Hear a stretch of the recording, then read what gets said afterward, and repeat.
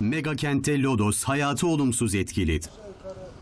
Sultan Gazi Uğur Mumcu mahallesinde bulunan bir binanın çatısı uçtu. Park halindeki üç araç çatıdan kopan parçalar nedeniyle zarar gördü.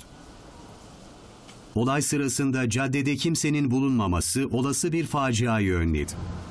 Kuvvetli rüzgar özellikle sahil kesimlerinde etkili olurken denizde ise büyük dalgalar görüldü.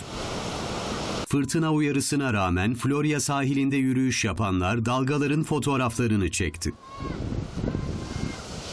Olumsuz hava koşulları nedeniyle ulaşımda da aksamalar yaşandı. Bazı vapur seferleri iptal edildi. Şehir hatları tarafından yapılan duyuruda Avcılar Bostancı, Avcılar Bakırköy Kadıköy, Üsküdar Aşiyan, Aşiyan Anadolu Hisarı Küçüksu ve Bostancı Moda Kadıköy Kabataş seferinde moda uğramasının yapılamadığı bildirildi.